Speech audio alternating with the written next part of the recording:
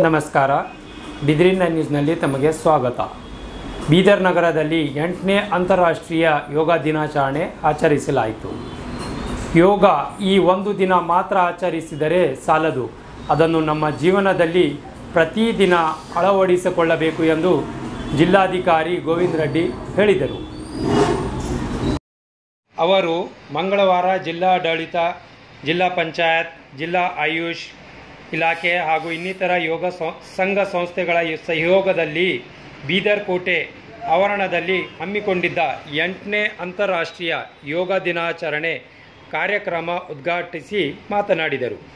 ಶಾಲೆಯ ಎಲ್ಲ ಮಕ್ಕಳು ಈ ವಯಸ್ಸಿನಲ್ಲಿ ಯೋಗ ಮಾಡುವುದರಿಂದ ತಮ್ಮ ಆರೋಗ್ಯವನ್ನು ಉತ್ತಮವಾಗಿ ಕಾಪಾಡಿಕೊಳ್ಳುವುದರ ಜೊತೆಗೆ ತಾವು ಕ್ರಿಯಾಶೀಲವಾಗಿ ಎಲ್ಲ ಕೆಲಸ ಕಾರ್ಯಗಳನ್ನು ಚಟುವಟಿಕೆಯಿಂದ ಮಾಡಲು ಸಹಕಾರಿಯಾಗುತ್ತದೆ.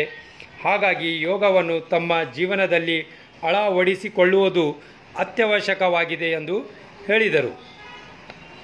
ಈ ಕಾರ್ಯಕ್ರಮದಲ್ಲಿ ರಾಜ್ಯ ಕೈಗಾರಿಕಾ ಮತ್ತು ಮೂಲಸೌಕರ್ಯ ಅಭಿವೃದ್ಧಿ ನಿಗಮ ಅಧ್ಯಕ್ಷರಾದ ಡಾಕ್ಟರ್ ಶೈಲೇಂದ್ರ ಕೆ. ಬೆಲ್ದಾಳೆ, ಬೀದರ್ ನಗ, ನಗರಾಭಿವೃದ್ಧಿ ಪ್ರಾಧಿಕಾರದ ಅಧ್ಯಕ್ಷರಾದ ಬಾಬು ವಾಲಿ, ಜಿಲ್ಲಾ ಪಂಚಾಯತ್ ಮುಖ್ಯ ಕಾರ್ಯನಿರ್ವಾಹಕ ಅಧಿಕಾರಿಗಳಾದ ಜಹೀರಾ ನಸೀಂ ಜಿಲ್ಲಾ ಪೊಲೀಸ್ ವರಿಷ್ಠಾಧಿಕಾರಿ ಡೆಕ್ಕಾ ಕಿಶೋರ್, ಬಾಬು ಜಿಲ್ಲಾ ಆಯುಷ್ ಅಧಿಕಾರಿ ಡಾಕ್ಟರ್ ರಾಜ್ಕುಮಾರ್, ಬಿ ಪಾಟೀಲ್, ಶಾಹೀನ್ ಶಿಕ್ಷಣ ಸಂಸ್ಥೆ ಅಧ್ಯಕ್ಷರಾದ Abdul Khadeer ಬ್ರಹ್ಮಕುಮಾರಿಯ Gurudevi behenji Aruna Patil N C C Siddarameshwar, Ayurveda college, Shaheen ಕಾಲೇಜಿನ ವಿದ್ಯಾರ್ಥಿಗಳು, ರೋಟರಿ ಕ್ಲಬ್ ಸದಸ್ಯರು ಸೇರಿದಂತೆ ಇತರರು ಉಪಸ್ಥಿತರಿದ್ದರು.